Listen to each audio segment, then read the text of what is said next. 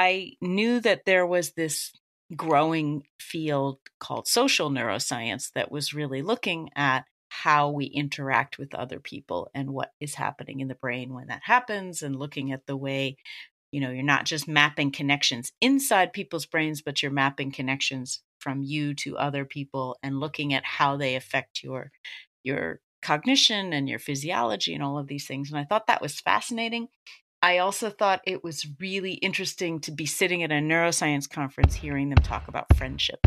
I'm Kacie Main a jaded hopelessly romantic health conscious party girl searching for meaning. And my mission is simple to make life better for myself and for you.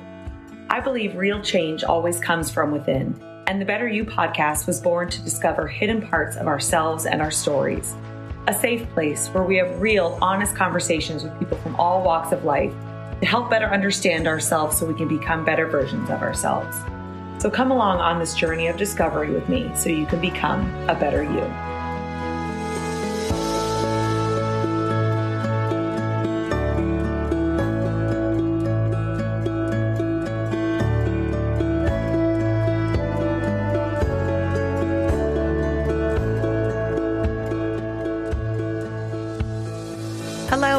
Welcome back to another episode of the Better You podcast. I am your host, Kacie Main. As always, the first thing I want to say is thank you very much for being here and for checking out the show. Whether this is your first time listening or you've been following along for a while, I just very much appreciate it. Your time is super precious, and I understand that. And there's always like 18 million things you want to be doing at one point in time, which is usually how I feel. So the fact that I am high enough on the priority list for you to be listening just really, really means a lot to me. So thank you very much. I really love the conversation that I'm sharing in today's episode. It is just a super interesting and like scientific view of friendship and and why it's so important but also why we choose the friends that we do which i think considering everything that's going on in our country and i'm in the united states i realize some listeners are not but you've probably seen what's going on in our country. I think it's really interesting to look at kind of why we bond with with certain people and and why not? And that part of the conversation is a little bit more towards the end but i think it's super interesting. We talk a lot about empathy and compassion and which is something we also talked about in the episode with Dr. Perlmutter, which I recommend everybody listening to because it takes a very neurological standpoint of how our brains work in terms of decision making and how empathy and the prefrontal cortex and all this cool sciencey stuff. And so this is another science conversation, which um, if you've been listening to the podcast for a while, you know that um, I love those perspectives. I can be a little bit nerdy, but I think it's really important to understand kind of how our minds work in the different aspects that are affecting them because ultimately how our brain is working is how we're making decisions and navigating life and that's what's creating our life. So super interesting stuff. But we do talk about or she does mention you know that we have this innate in group out group bias. And I realize some people are going to be immediately be defensive to that, be like, no, I don't, no, I don't. But if you understand that's just kind of how our, our brains are wired, that's like the default setting being aware of that, like once we recognize it, then we can start to kind of work through it. And that's where, you know, empathy and compassion start to come in. And so I do think this conversation is relevant to everything that is going on today, as well as super interesting just standing on its own. I do want to point out, though, that this was recorded back in early May. So, this is another episode that was recorded um, before the death of George Floyd and the protests and just everything that's been happening over the last couple weeks. So, I don't think we talk a lot about COVID 19, but any mention of kind of the current state is referring to that, not, not the protests and the Black Lives Movement and racism and inequality that hadn't, ha- well, was happening. It wasn't what everybody was talking about um, at the time of recording this conversation. So just keep that in mind. And on that note, I do just want to give a quick update on kind of what I'm doing in that world. I've talked about this a little bit on the podcast so far. And so I'll be completely honest, and and I believe I said this in the my current events little kind of spiel that I aired. I felt very uncomfortable with everything and uncomfortable with like what is okay and right and valid and respectful for for me to say. And i just really didn't know what my place was if i even had a place. And so just really been struggling with it and feeling really uncomfortable. And and it was that discomfort as we talk about in so many episodes of this podcast like that discomfort or anger or upset or any negative emotion that you're feeling that is telling you something and for me I see it as okay that's an area I need to dig into for sure. If I'm feeling uncomfortable about something, if I'm feeling the desire to be silent about something, or if something is starting to make me feel like I'm not in the right place, or fear of being judged, fear of being rejected, all of that. When I notice those feelings, I'm like, okay, there's something there to dig into. And I think that's true for all of us. So, what I've decided to do, and I posted about this on my socials um, the other day, but at the time this airs, it'll be, I guess, last week I I feel like I am very uneducated on the matter. Uh, more uneducated than I originally thought I was as I've started to educate myself a little bit more. So there's two books I've started. One is Me and White Supremacy, which is really more like a workbook, like a journaling workbook. And so I've, I've I'm just at the beginning part now. I haven't started the first journal prompt. Um, that'll be tomorrow. But if you know me or if you've read my book, you know I love journaling and I love journal prompt questions because that'll really just get your mind going. And so I'm going to work through that. I believe it's 28 days. And then I've also started listening to the book White Fragility.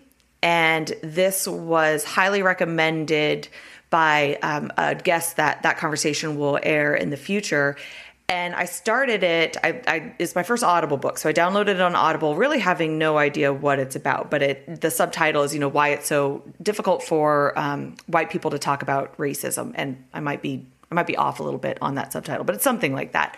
So I started listening to that just yesterday. I went for a walk, and so I got about an hour into it, and oh my gosh, it's like already starting to blow my mind just from the introduction in the first chapter, and it just totally called out my discomfort and how that's that's true for a lot of us. So if you are white and you're listening right now and you are uncomfortable even with me talking about this, then you definitely should consider reading this book.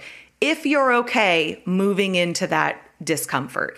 And if you're a listener of the podcast, my guess is that you are because a lot of the work that we do on ourselves and better understanding ourselves and facing our past and all of that is is uncomfortable. Growth is uncomfortable. So I would just recommend every white person read this book. And I'm only the first chapter in, but it just already blew my mind with how like the definition I've had of racism in my mind is is not the complete picture by any means. And so it's easy for me to sit here and say that I'm not racist because I I'm a good kind-hearted person and I don't actively do mean things towards people of color, which is kind of what we've been taught is racism. You know, these just horrific acts and just outward blatant acts of of hatred towards other people and she's starting to paint the picture that that's not the case and that it's a much bigger picture and so i i know this book is going to be uncomfortable i could tell just from like the introduction but i'm actually really looking forward to it because i and i talked about this a little bit in my social media post you know, we all only know our own perspective. It's true for everybody. We yes, you can practice empathy and attempt to put yourself in somebody else's shoes, but you only know your own perspective. Now, we also use that that concept in terms of like you are the expert of your own life. Like cuz nobody has lived every single second of every single day from your perspective other than you. So you are the expert in your life. That means everybody else is the expert in their lives. So we can do all the empathy we want to try and put ourselves in other people's shoes, but ultimately, we're limited to only truly know our own perspective. So while I might sit here and think that I am not contributing to the systemic racism in this country, as I sit here and have lived this extremely privileged life and i don't mean privilege just white privilege. Like i i came from a good family grew up in a great neighborhood like went to a good college good family all the stuff i talk about in in my book that you know i've lived this charmed life. And i'm i'm very grateful for that but i'm also very aware of that and that that's what i know and i know that i don't know what i don't know so i'm super excited to continue to read this book to expand my knowledge and try to expand my perspective. It'll never be fully somebody else's perspective, just like nobody will ever fully know what it's like to be me. But I think the more we try that, the more empathy we can have. And then that's how we can best work through all of this. So, wasn't really expecting to go on on that little rant, but at first I wasn't going to you know kind of go down this road and really recommend anything for anybody. And honestly, I do believe everyone you are where you are and if you do not feel compelled to you know kind of read these types of books or educate yourself more on the matter then then that's where you are and okay and that's kind of where I was cuz I thought I knew enough and but the the discomfort if you're feeling discomfort right now I think that's telling you something and so I think it's a road worth venturing down all right, so that's that. I will go ahead and climb back off of my soapbox. And I don't know if if I if or how I will continue to address this matter moving forward. It might be little rants like that in the intro, just kind of update you guys on kind of what I'm doing. I might start airing more of those just random kind of me talking like I did on the take on current events a couple weeks ago. So if it's something you're interested in and want to tune into, you can. If it's something you don't want to listen to, you don't have to. I don't know how I'm going to go about it. Um, I'm just going to kind of see what what feels right. And as far as what's planned for next week's episode, we have we're jumping back into the spiritual world a little bit. So, if you enjoyed the spiritual episodes, we're moving back in that direction next week. And then I believe, so at the time of recording this, I believe I'm going to air a second episode this week. It is just a great very light-hearted, feel-good conversation about a really unique friendship. And so I thought it fit with today's episode, obviously, which talks about friendship, but also it's just it's a light conversation. So if you're feeling the need to listen to something not so heavy, just a little bit kind of lighthearted, which which is totally fine. Like if you're feeling pressure to constantly consume all of this heavy stuff right now, like just remember to to take care of yourself. Like self-care is still important. But I think it's a fun conversation, and it is with a woman, Judy Gammon, who has a new book out about her really kind of random and fun friendship that was formed with this woman, Lucille, who is a centenarian. So she's like 100 and something years old. And Judy and I met at a what's called like a pitch workshop. When we were this was a couple years ago it was in new york city it was a weekend in new york city and it we were both working on our books. So neither of our books were out yet but we both happened to attend this uh, pitch workshop where they really help you refine your pitch to then pitch to literary agents to then hopefully get a publisher and that whole book publishing process. So we met there. That's the only time we've ever really spoken or seen each other but uh, you know we kind of clicked and then it was a couple months ago or a couple weeks ago, I get an email from her publicist pitching for her to come on the podcast. And I was like, oh my God, I know her and her book is out and that's so amazing. So it was fun to reconnect with her and talk to her about her book. And her relationship with Lucille really just taught her a lot. Again, going back to perspectives, the perspective of somebody who's reached 100 years old. I mean, imagine what they've seen in the in the world in her life. And so it just it really changed her life a lot. And so we talk about that. So i believe i should have time to listen through that and send it to my audio engineer and hopefully air it either thursday or friday of this week probably friday. Um, but just make sure you are subscribed so you don't miss that. Okay this is getting to be a long intro. I apologize for that. Let's go ahead and jump into today's guest so, Lydia Denworth is a science journalist and author of Friendship The Evolution, Biology, and Extraordinary Power of Life's Fundamental Bond. She is a contributing editor for Scientific American and writes the Brainwaves blog for Psychology Today. Her work has also appeared in The Atlantic, Newsweek, The New York Times, The Wall Street Journal, Time, and many other publications. And in this episode, we discuss her interesting and personal journey into becoming a science writer, the evolutionary advantage of living in groups and being able to create bonds, the scientific definitions of friendship and how long it takes to develop true friendship, whether or not you can outgrow friends, the impact social media has had on friendship, the physical benefits of friendship and the evolutionary biology reason behind them, our implicit in group and out group bias and the importance of empathy, and why we choose the friends we do. All right, so that is it. We're going to go ahead and jump into this conversation with Lydia.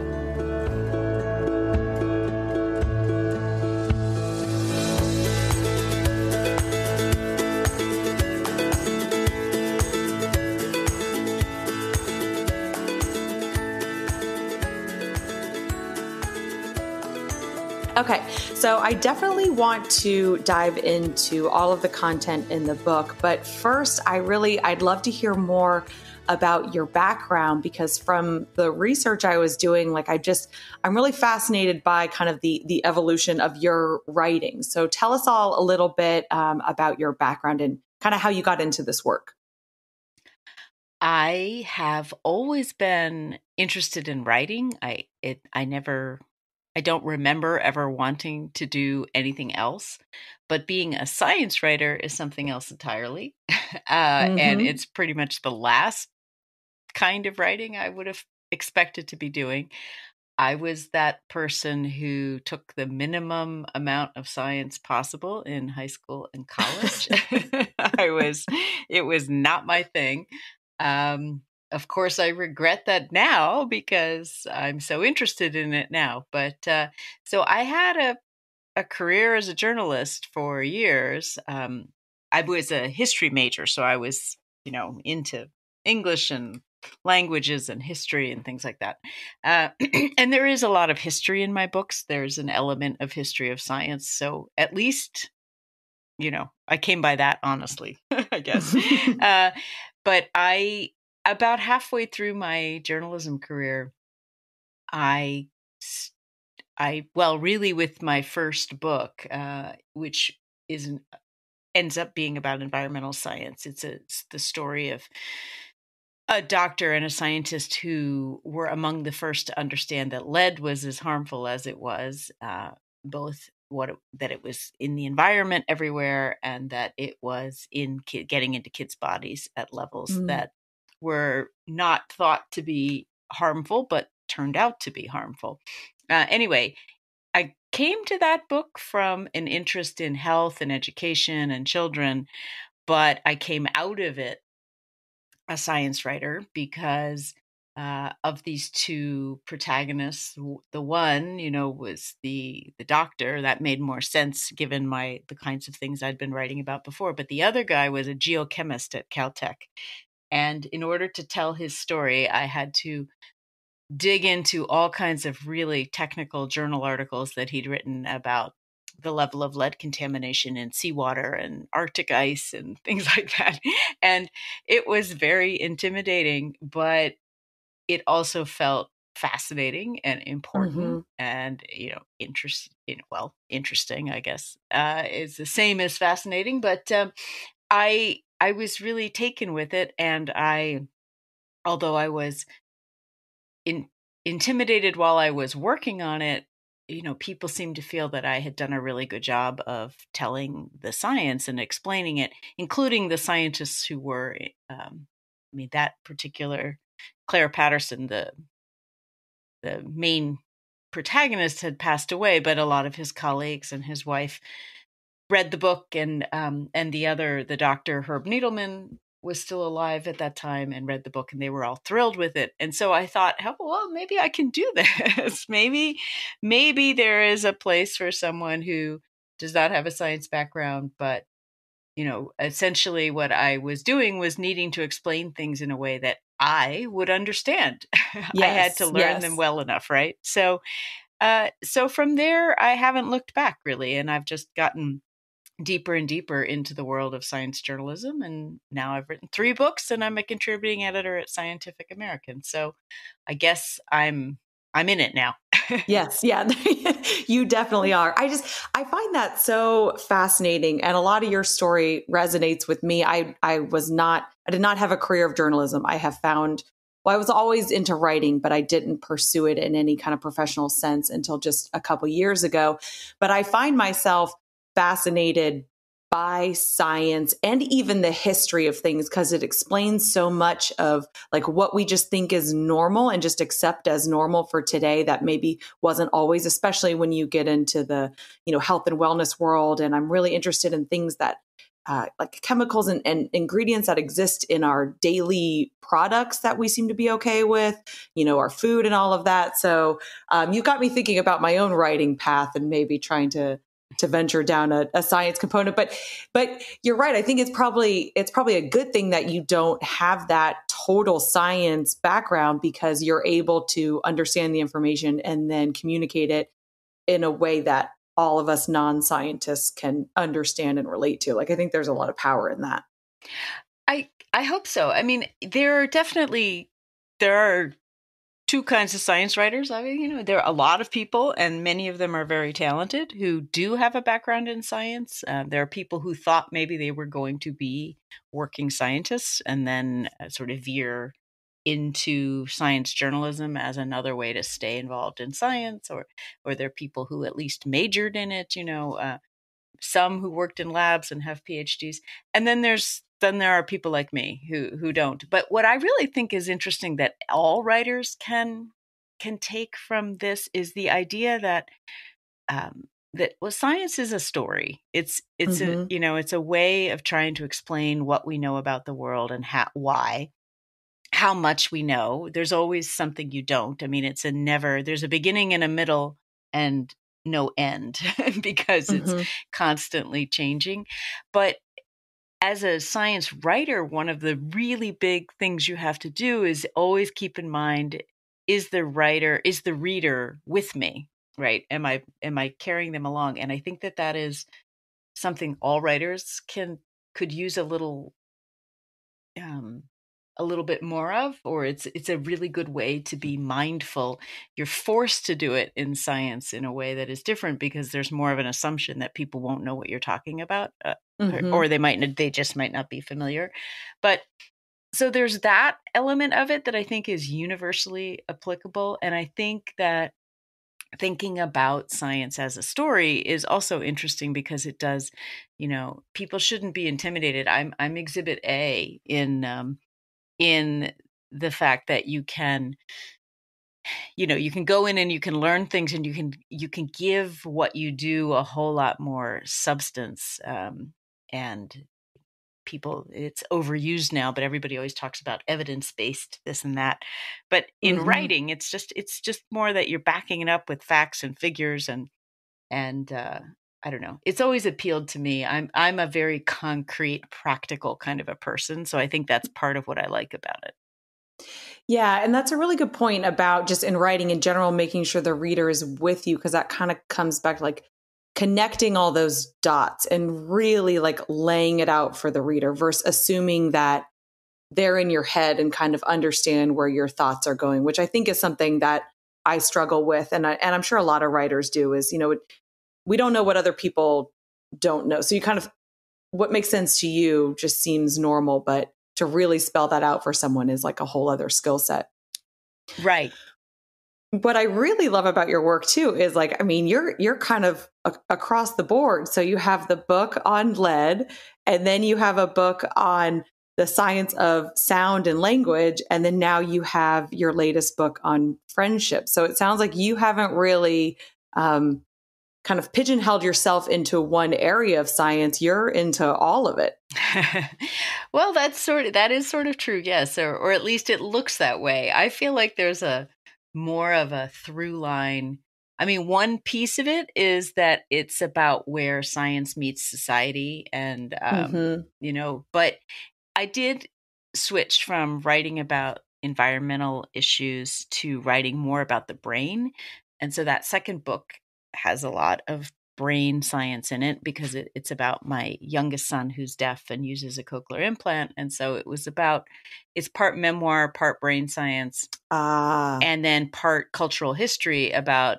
the deaf world and the and the controversy over technology and my you know the journey that i am taking in that book is as a hearing parent of a deaf child sort of getting thrown into what feels like someone else's political fight but but isn't really because as soon as you are if you have a if you have skin in the game at all right if you've got a kid mm-hmm. or you yourself or anybody you know and love has hearing loss then you then you're in it and so um so it was it was about all those things but the but the part that i thought i could really contribute was that because I was both a science journalist and a mother, I had this kind of front row seat to something that felt really important. And the science has bearing on the politics of it all. Um, mm-hmm. Because, you know, there's a whole discussion about, you know, the people who object to cochlear, cochlear implants for children think that kids should you should wait until kids are old enough to make up their own mind about whether they want that. But the problem is that that that doesn't you actually have made a decision because the brain is only kind of open excuse me for the experience of processing sound when kids are very young and uh, mm. uh, and so you you close off that possibility if you if you wait and so anyway we don't have to get into the nitty gritty of it but there's a reason why the brain was such an important part of that very personal story and it was the thing i was exploring and then that got me quite fascinated by the brain and and neuroscience and the plasticity of the brain and mm-hmm. that actually was the jumping off point for this new book on friendship it was that i got after I finished the second book, I was sort of casting around for what to do next, you know, beyond my journalism, thinking is, you know, do I want to write another book? And I knew that there was this growing field called social neuroscience that was really looking at how we interact with other people and what is happening in the brain when that happens and looking at the way you know you're not just mapping connections inside people's brains but you're mapping connections from you to other people and looking at how they affect your your cognition and your physiology and all of these things and i thought that was fascinating. I also thought it was really interesting to be sitting at a neuroscience conference hearing them talk about friendship which just wasn't obvious somehow to me that that's what they talk about you know because we all think of friendship as such a thing we take for granted in a way uh, and we also, it feels very familiar, but it doesn't feel serious. Uh, mm-hmm. And neuroscience is about as serious as it gets, right? So I just, I thought that was an interesting tension and that maybe there was a, a way to write about friendship if to follow the lead of these serious scientists who were looking at it in a new way and that was the book I wanted to write. But so I did come to it from the brain side of that last book. That, um, but yes, it's true that then it turned out, yes, there is some brain uh, stuff in the friendship book for sure. There's there's a, a good bit of it, but there is also uh, evolutionary biology and primatology and epidemiology and sociology and psychology and uh, lots of other stuff because you know there's a, a, lot of different ways to come at friendship but yes. but the yeah but the goal was to to to keep it narrow banded to this kind of new scientific approach. I I love it. I absolutely love it and I now I'm just even more excited about future books you will write because I think that same concept you're so right that like we don't we think about these different relationships and these kind of social elements of our lives and it's like we kind of have that in one bucket and then we have you know science and biology in another bucket. And i think the majority of us aren't even really thinking about neuroscience because that's something we learned in like high school or grade school science and then have just completely forgotten about like unless you're in a field where you continue to study that. But everything we're doing throughout the day and interacting that is that's changing our brain that's impacting our brain. Our brain is then impacting you know how we're interacting in the environment. So i think connecting all those dots for people from a scientific standpoint, but then also like an a, an evolution standpoint of like how it's changed and how that's impacted us and all of that. Like i i mean I'm fully aware that I might be like a total inner nerd, but I think that is all like super, super fascinating. well, I'm so glad because I am definitely an inner nerd. I've discovered that I am. People say that I get a little wonky. In fact, that's that's usually what I have to do is uh is when I am editing my books is is I go back and I take out the wonkiest the the parts where I really got into the weeds. Um. Yeah. Oh, that's funny. Okay. All right. So let's dive into the material of the book. So mm-hmm. the subtitle is The Evolution, Biology, and Extraordinary Power of Life's Fundamental Bond. So let's kind of just follow that order. So um, uh, tell us a little bit about the the evolution of friendship. Like let's let's start there.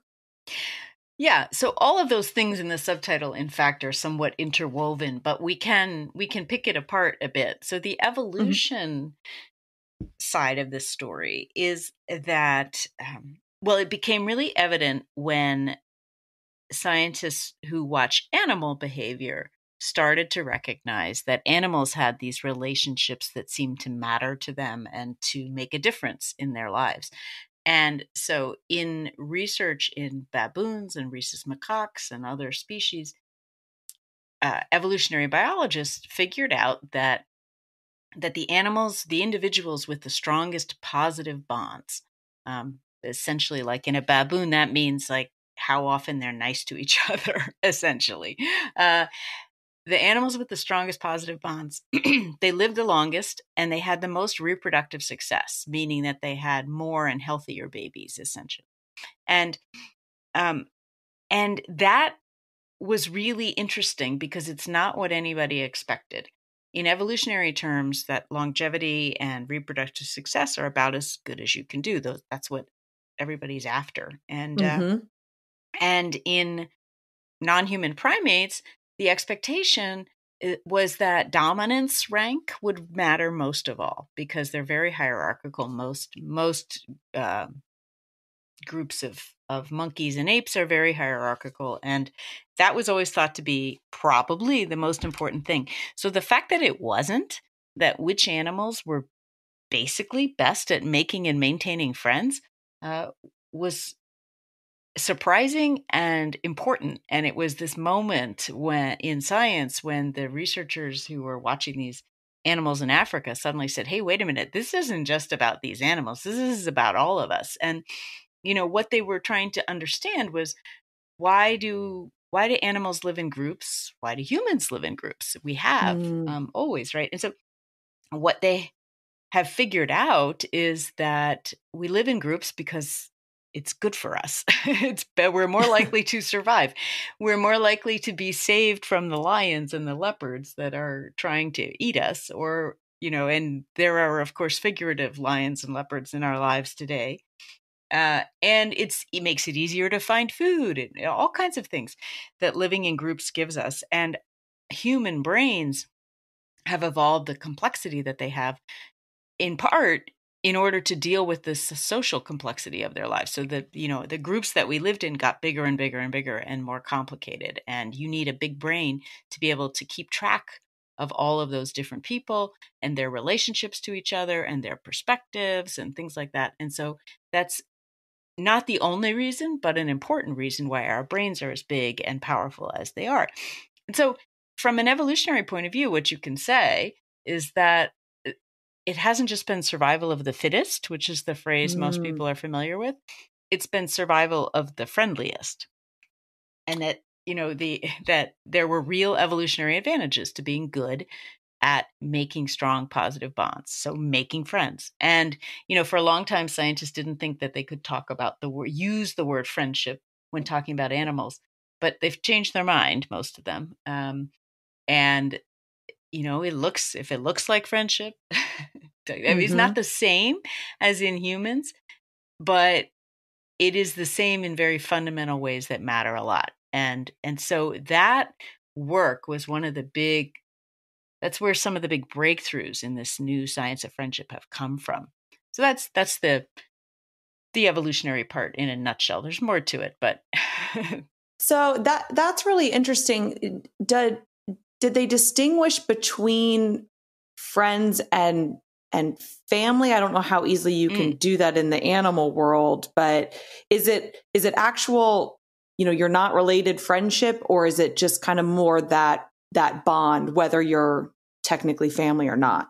It's both. And so, what's really interesting about this science is that it does two things it clarifies what friendship really is. It also blurs the lines between family and friends and uh, mm-hmm. uh, and and sexual partners and things like that. And I'll explain what I mean by that.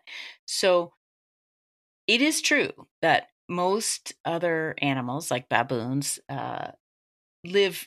They spend a lot of their time with family members, with biological relatives. That's who's around. Uh, but what they found is that it's sort of that the exception proved the rule that even the animals who didn't have family around who whose primary grooming partner say had been eaten by a lion uh, if they then worked to make strong bonds with other animals they could do fine um, mm. in terms of the longevity and the reproductive success and what we find in humans is that it really makes a difference how socially integrated you are but it doesn't have to be family members. It can be close friends and that and the effect on your biological health is um and we'll get to this part when we talk about the biology but is is really about the quality of the relationship and not the origin of the relationship meaning whether it's family or friend or romantic you know interest. Uh it's is it it basically there's a simple definition or a, a minimum definition, let's call it, for friendship. And it's across species. And it is that the bond is long lasting, it's positive, and it's cooperative. So in baboons, that looks like, you know, they've known each other a long time, they groom each other, they make each other feel good, and then they are there to look out for each other when it's necessary, you know, help find food or protect from predators or whatever it is. Same thing is true in humans. It makes it look like, well, you can translate it into so what does it mean to be a good friend? Well, it's to be a steady, reliable presence in someone's life, to make that person feel good, and to be helpful, to show up, to be reciprocal. Uh, you know, you help me, I help you, not in a tit for tat accounting kind of way, but in a mm-hmm. general, over the length of the relationship kind of way. Okay, yeah, because it, this is kind of a sad statement, but it's true that we're not not everyone is friends. That definition of friendship with their family members or even their romantic partners. So that's kind of a unique um, way to look at a, a, certain type of bond or yeah. So this is a different way to slice it. Kind of is to say, mm-hmm. let's look at the quality of the relationship with whoever's in your life, and not and not how it is that you're connected to them. And so, by that definition, your friends are the people who fit those that ha- with whom you have those strong positive bonds. And then there's everybody else. And we hope that your family and your romantic partner fit into that category. But yes, alas, they do not always. And you telling me that you have a sister or a, a husband or whatever it is, a girlfriend, doesn't actually tell me anything about the cat the quality of your relationship. It just tells me about the legal or biological connection you have with that person. Right. Mm-hmm, and mm-hmm. so, whereas if you tell me that somebody is your best friend, I know a whole lot about, you know, how you think of that relationship. Okay. All right. I, I want to get into the biology, but first I'm just super interested in the the long lasting part of that definition. Are there parameters around that? Okay, because like in today's society. So, like, I have my friends that I had in grade school, and then kind of a different set in high school. And then I went to college. And some of those people I'm still friends with now, and others not so much. So, is it, does the long lasting mean like it's got to last the the long haul or it's more kind of it can come in and out of your life and for a certain chapter of your life it's long lasting within that chapter yeah the latter it does okay. not have to be only people you've known your whole life. And in fact, one of the interesting things is that while sometimes those are the friends that we are closest to, oh, and you know, stay that way, it's also true that sometimes there are people with whom we have a a really long shared history, but we don't actually get along all that well anymore, or we find them draining or demanding. Mm-hmm. And and yet we put up with it because we think that the good of our history outweighs the bad of how much it's not fun to hang out with them anymore. Um, and we shouldn't really do that. We we need the relationships need to meet all of the requirements today, right?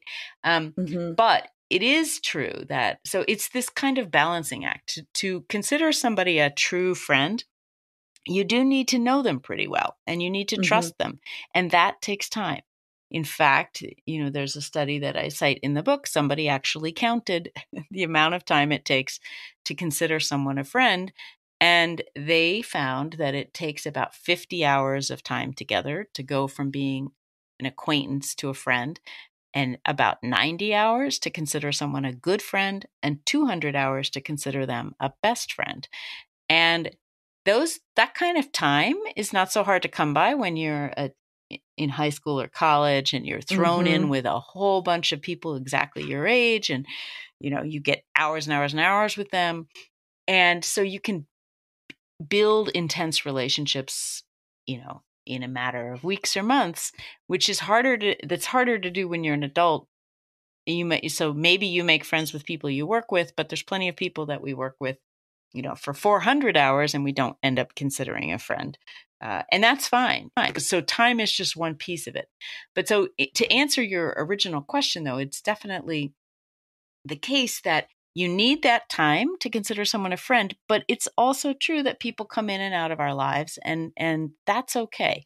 We can so there should be a kind of always be well, let me put it this way there should always be some people in your life that you've known a long time and that you feel know you that you feel known and seen and understood by and that you feel are there for you but who they are might in fact you know change with the decades or you know mm-hmm. as you mm-hmm. move or as you marry and have kids or or don't marry and have kids or you know whatever it is you're you're going to find people who um who kind of travel with you through life they call that a social convoy and then but some of those people will fall off or some of them mm-hmm. will get sick or pass away unfortunately or you know um it's and so what matters again is the there has to be a certain amount of time for that long lasting element but it doesn't mean that it's only the you you know you can only really be good friends with the people you've known since you were 10 right and and so it's true as they say that like you can outgrow a friendship and that doesn't mean there's anything wrong with anybody. Uh, exactly right it's uh, I, I, do find a lot of people really struggle with this idea of mm-hmm. quitting friendships and you know look human relationships are messy and I, i've begun to feel that people want me to give them some some magic um, spell that they can cast over a relationship to make it end without any pain. I can't do that. But what I can tell you is that it is okay to feel that this relationship isn't serving you anymore. And really, if you have a, a current friendship that doesn't feel fully healthy, the important thing to know is how much it matters that it's a positive thing and that unhealthy relationships really are not good for your biology. But the second thing is that then you you have a couple of options but you should act you should either and have the hard conversation with your friend that you need to have about how to make the relationship better, work to make it better, and you can look at your own piece of it. You can end the relationship entirely if it's really toxic, or you could shuffle that person sort of to the outer circles of your social life, right? They don't have to be mm-hmm. front and center. Um, the people closest to you should be the people who really, really have your back.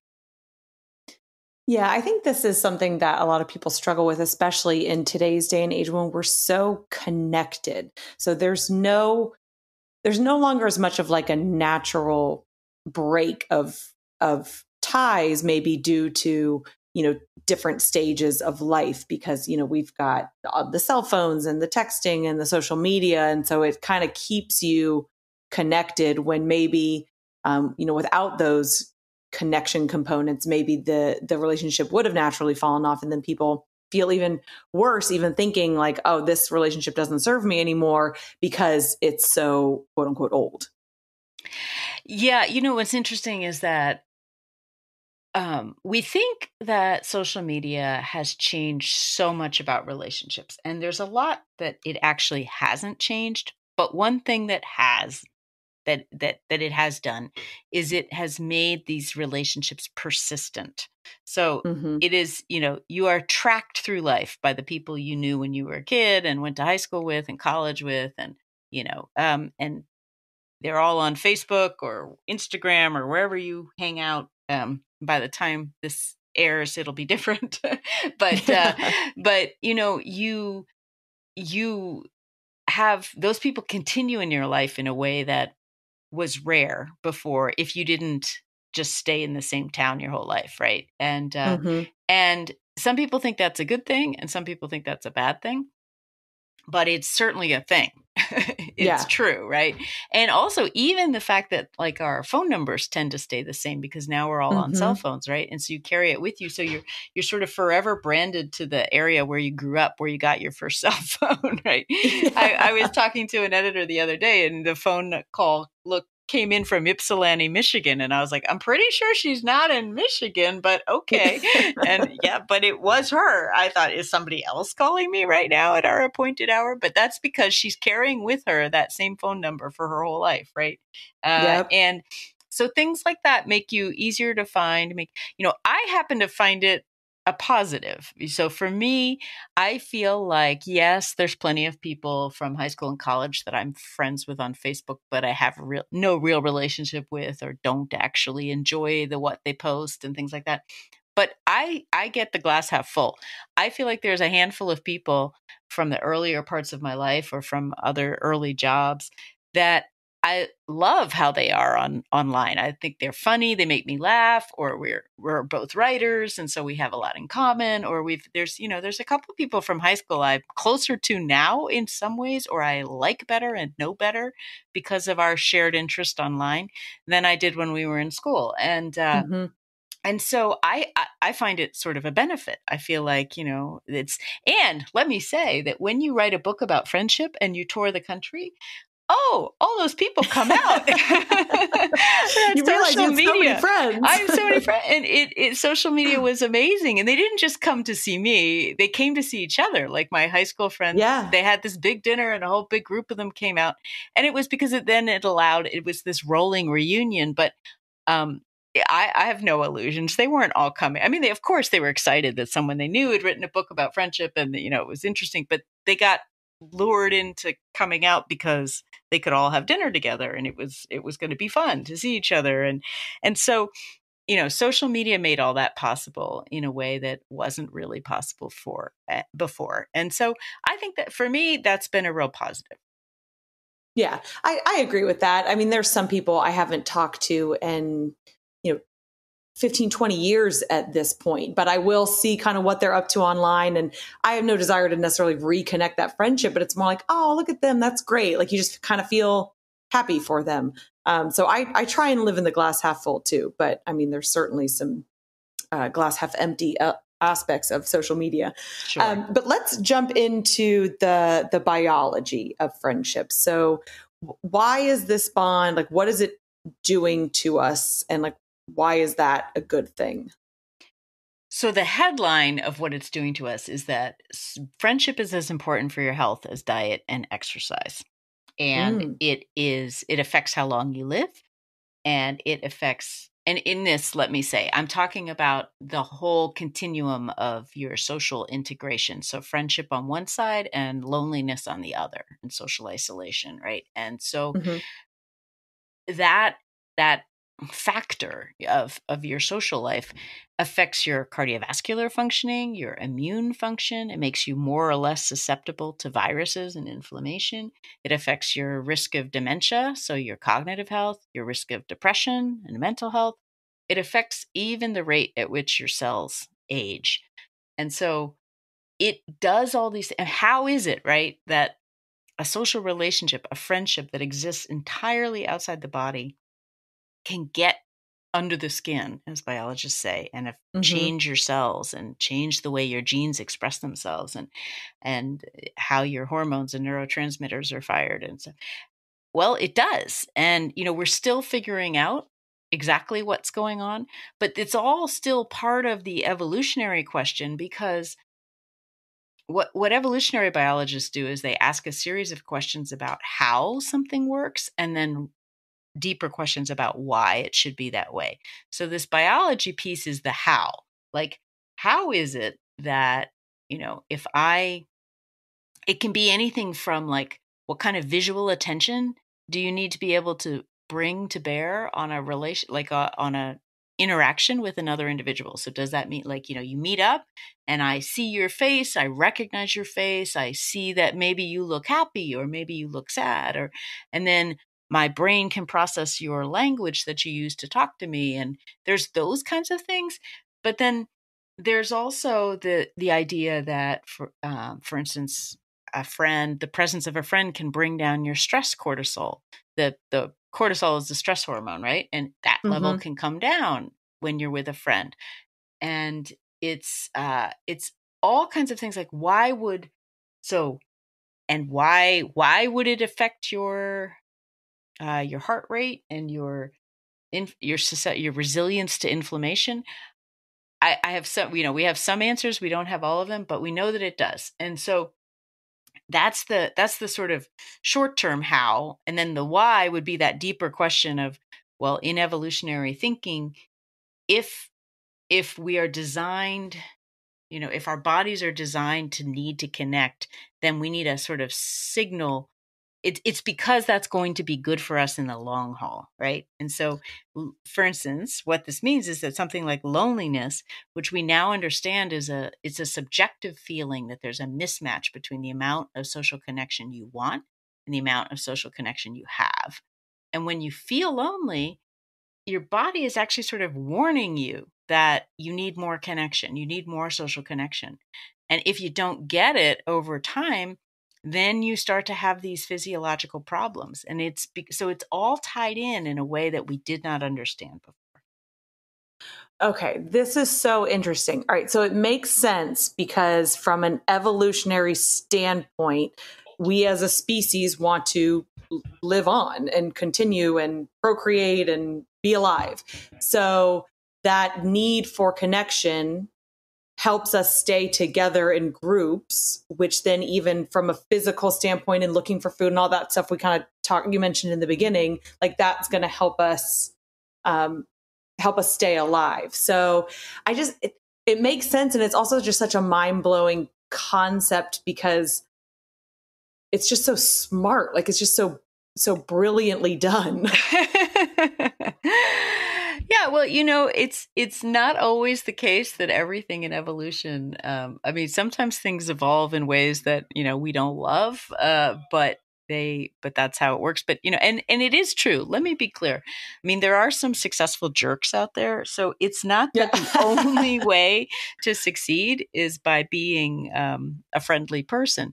It means that it's a better it's uh the odds are better right um and that you and that you will do better um if you are have that ability to make strong bonds and um Right. and to live that way right and which i think in this particular case is just such a lovely it's such a lovely fact as you say it's like oh well how how nice is that that it turns out that this thing that we love hanging out with our friends is really good for us and is important in our story as human beings right in a way that we never gave it credit for before you know we always have thought it Mhm. was pleasurable i mean all the way back to aristotle but everybody thought it was cultural not biological and of course it is cultural there are there are these cultural overtones to it I just I think it's I think you know from an evolutionary standpoint like evolution is playing the long game. So yes, like you could be a successful jerk and probably be just fine,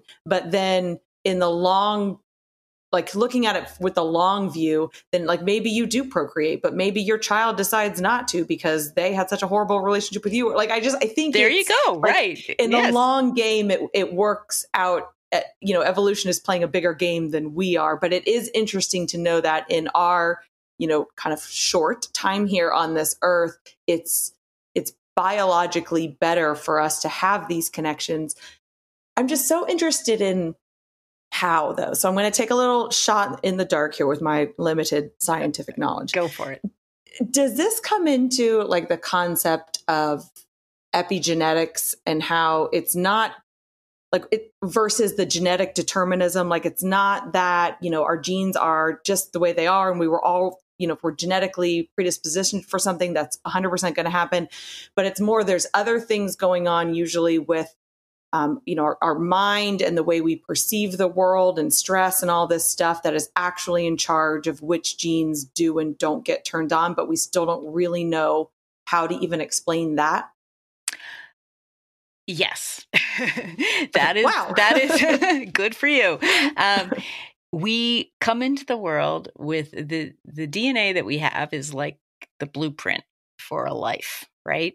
But then you live your life. And there are some genes that that are determinant uh, for sure, like your eye mm-hmm. color and things like that. It, it's not going to change, right? But your, but a lot of the genes that we come into the world with might or might not get turned on as you say they get expressed is the is the term that geneticists use um, but it's the analogy i use in the book is that they can be like an opinion that's never voiced you know they they sit there and then it has everything to do with your environment and now we understand that that includes your social environment and that and your friendships and your relationships and that that piece of it so first you know, everybody thinks of environment as well, okay, it's what you eat or it's the air you breathe or things that seem more directly tied to your physical body.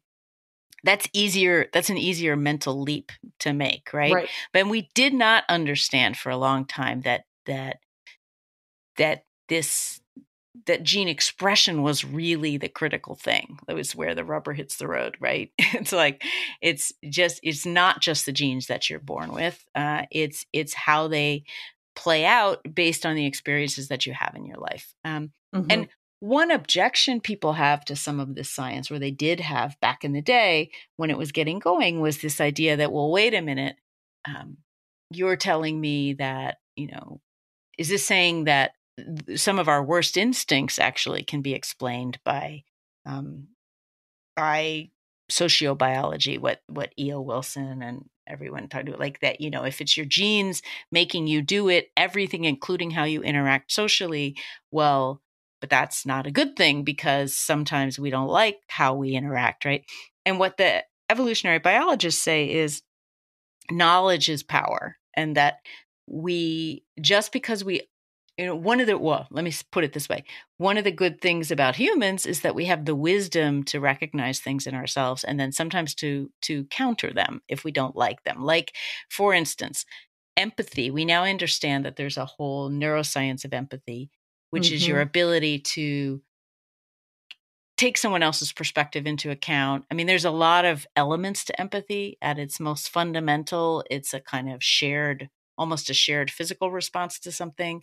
Um, it's there's a cognitive empathy where like I understand that you saw that that thing happened and you know it affects your or that you have you have a belief that might be different from my belief or something like that and then there's compassion and the desire to actually act on you know on somebody else's behalf but all of that is um, comes under the umbrella of empathy there's also though a real in group out group sort of natural implicit bias that we that we bring to the world and we have come to understand that much more of late right and and that's not a great thing so it can be good because it helps us rally the people right around us but it can be bad in that it pushes us to see you know strangers as as bad or and that it's one of the causes for xenophobia racism mm-hmm. and all these other things that are not good uh, but understanding that we have that instinct I think is useful because now,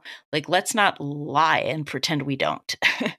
let's mm-hmm. address it head on, right? So I'm I'm getting a bit far afield here from friendship, but it's it is this kind of interesting question of genes and epigenetics and environment and how they all work together. Yeah, no, I, I, love that you bring up empathy. We talked about that with um, another guest. I had Dr. Austin Perlmutter on, who wrote a book called Brainwash with his dad, and they were talking about the kind of the neur- who's a neuroscientist or neurologist, and they were talking about the neuroscience behind decision making. And one of the the big findings that you know when they wrote the book is he was really surprised by the power of empathy, empathy, and how that you know helps kind of build up our prefrontal cortex, which then helps us make better decision making. So we talked about the different levels of empathy. And I, I love when I hear the same thing from very different guests because it's like, oh, okay, yes. Yes, there legit. must be something to that. yes. so does does the book or the research get into anything about um, how to how to go about building these bonds? Like, is it something you can work towards, or I'm, I know you have to work to keep it going, but is there a reason or an explanation why we feel more, why we're drawn to certain people to be friends with and not others? Or is it really all a matter of like effort and time? Uh, no, it is. There is a, there is, I mean, there's a chemistry to friendship rather mm-hmm. like the chemistry in romance. Um, and, you know, there are people that you just click with. And in fact, scientifically speaking, what friendship is all about is differentiation, meaning that I like you more than I like you.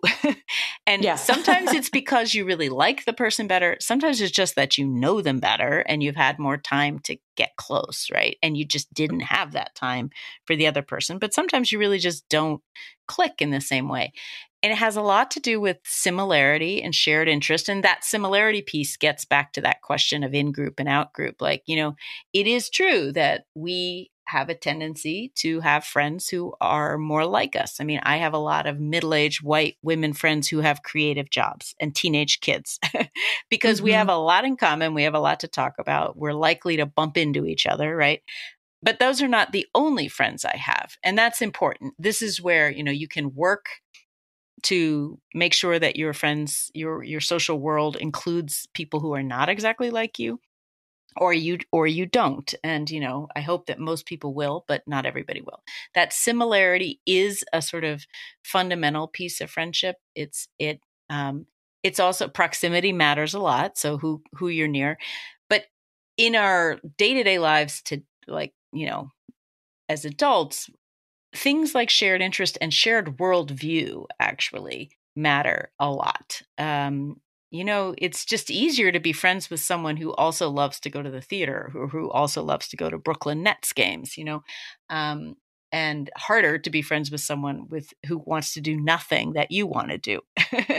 um, which is one of the, I mean, this sounds like such basic corny I thing but one of the things about adults making friends is that you really do need to sort of go look for the people who share your interests you know join if you move to a new city and you have a new job you got to look for like it's the hiking club maybe that you care mm-hmm. about or the or maybe you're really into food and so you want to join some sort of um you know farm to table group or something um i don't know but that's that's just a starting place but there's a reason why that has worked so well for so long. It, and it is that that having sharing sharing interest matters and then worldview matters. So like volunteering is a really good way to make new friends and because you're not coming together with the idea that you automatically will become friends you're coming together around something that is of interest and matters to you both and then you get to put in the time together while you do something and then you maybe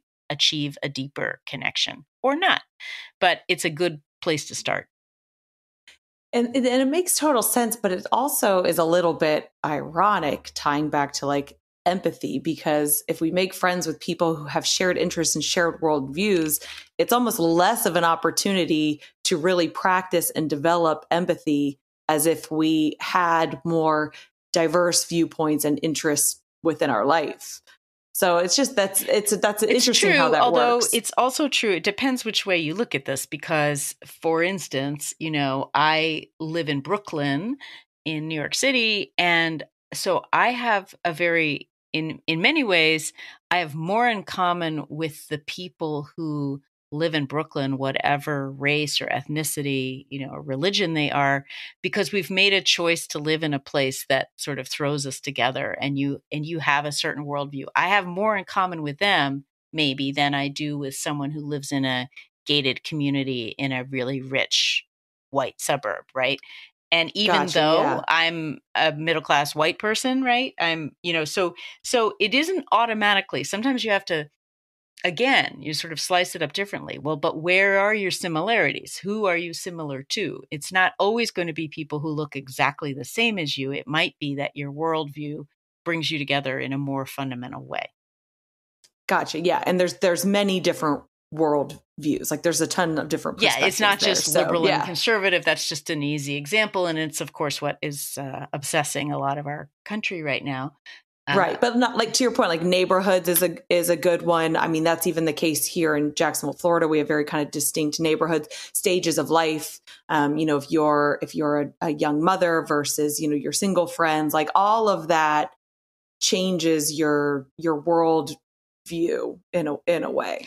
It does. And it is it is good though and important that people try to see outside of themselves and like make like so for instance, if you get married or you have a kid, it's a you're going to automatic I mean it, when you have children if you have children, it's really helpful to have friends who also have children the same age. You really need them because they know exactly what you're going through. You can share information, you can share, you know, um, but it's good to try not to leave your other friends behind entirely right Mhm. and and people are f- sort of famous for that and for putting their friends their old friends last then when life changes when we have these transitional moments and some of that is fair and some of it is you know we should do better Right. So that's kind of the the balance. You need friends who are in similar life situations as you for that support so you feel like you're not alone so they can absolutely relate. But then to your point, friends who maybe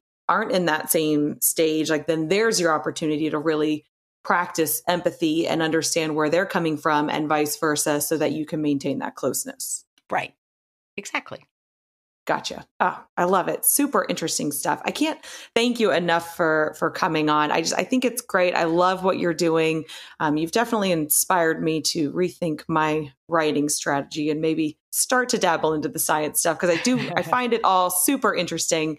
Um, tell everybody where they can buy the book, find you and your work, follow you, all of that good stuff.